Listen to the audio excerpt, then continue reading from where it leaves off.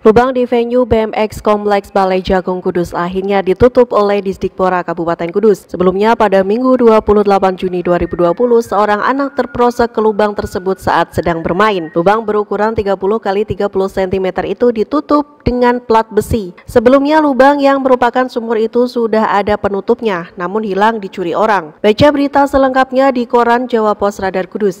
Dari Kudus, Vega Ma'arijil Ula melaporkan.